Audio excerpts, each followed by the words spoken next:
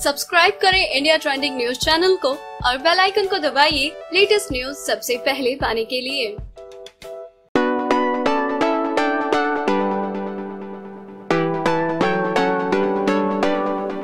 दीपक ठाकुर और सोमी खान के बीच में अक्सर छोटी मोटी नोकझोंक होती रहती हैं। उनके बीच की ही नोकझोंक बाकी घर वालों को काफ़ी एंटरटेन करती हैं। और इसी तरह से उन दोनों के बीच में हो गई है एक छोटी सी नोकझोंक गोलगप्पों को लेकर। उन दोनों के बीच में इस बात को लेकर बहस छिड़ गई कि कौन सबसे ज़्यादा गोलगप्पे खा सकता है। दरअसल सोमी खान ने कहा कि यार काफ़ी दिन हो गए हैं गोलगप्पे खाए, बड़ा मन कर रहा है। बिग बॉस क्यों ना गोलगप्पे खाने का कॉम्पिटिशन ही करवा दे वीकेंड का वार को? तो दीपक कहते हैं, कितने गोलगप्पे खा सकती हो तुम? तो वो कहती है की मैं मैक्सिमम खा सकती हूँ। जल्दी जल्दी नहीं खा सकती हूँ लेकिन आराम आराम से मैक्सिमम खा सकती हूँ। दीपक कहते हैं गोलगप्पे खाने में तुम हमसे जीत ही नहीं सकती हो यार। हम रोज़ाना शाम को गोलगप्पे खाते हैं गोलगप्पे वाले के पास मेरा खाता चलता है। फिर भी बताओ ना, कितने खा सकती हो? तो सोमी खान कहती है अबाउट हंड्रेड खा सकती हूँ। तो पास में बैठे केवी भी बिग बॉस से अपील करते हैं कि इस वीकेंड का बार दीपक और सोमी के बीच में एक गोलगप्पा कंपटीशन करवा दीजिए। वैसे भी बिग बॉस काफ़ी वक्त हो गया है, गोलगप्पे खाए, हो ही जाए।